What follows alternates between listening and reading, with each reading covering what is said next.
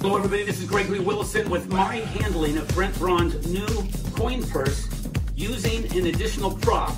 Just don't fall for the wrinkled shirt as misdirection. The idea is to look like it totally and completely disappears. Thank you very much. Making me think I should have had more misdirection. Any, any questions? You can raise your hand if you want. Don't be shy. I'll show you how it's done. Okay, look. Here's the secret. It looks like it disappears and reappears, but instead it relocates where you least. No, it couldn't be. No, listen. That's that's your line, by the way. We'll say no, it couldn't be. And you're right.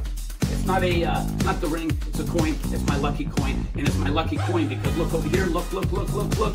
I never lose anything. That looks like your ring to me. And here's the best part. If you take the ring and squeeze for just a second, that's long enough to get my lucky coin back again. Boy, am I lucky. But now you're lucky. You get to have that, and your ring should be coming back any day now. Okay, any minute. Okay, any second. Wait for it. No, no, it couldn't be. And there you have it right there. There's your ring. You can have that. It's going to cost you a dollar. I'll take that. They take that. I put that back. They've got theirs. I've got mine. Everybody's happy. And